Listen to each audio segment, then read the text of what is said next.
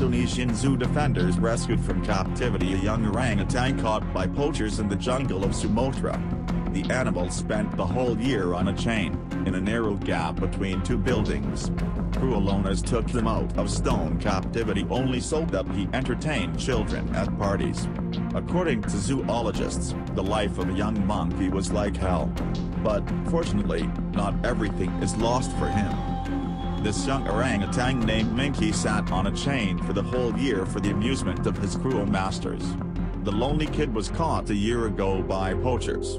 One of them presented the animal to his friend, who, putting a collar on the orangutan's neck, chained him to chain in the gloomy and tight gap between the two houses, which did not reach a meter in width. He could get out of it only when the owner brought him to family festivities in order to entertain the children. A whole year passed before the zoo defenders learned about the orangutan, who found himself in foam, and tried to come to his aid. The scene picture horrified them, the animal was clearly depressed. The orangutan could fall asleep, only hugging himself tightly with his hands. At the same time, the Minky owners did not hide their intentions. He stated that he kept him on the chain for family entertainment, said Panut Hadisiswoyo, head of the Indonesian Orangutan Information Center.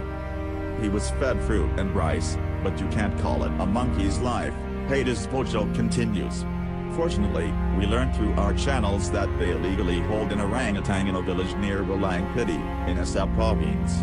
Its estimated Minky is only 3 years old. This orangutan would have to suffer all his life, but, fortunately, we found him, Hadisiswoyo says. The owner told the police that he was given a friend of the orangutan, so they won't be able to punish him. Yes, he himself willingly gave the monkey away.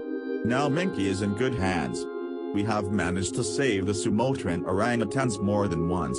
Now the most important thing for us is to continue field observations, monitor problems and explore the isolated sections of the jungle where the orangutans live, so as not to lose these small but very important groups.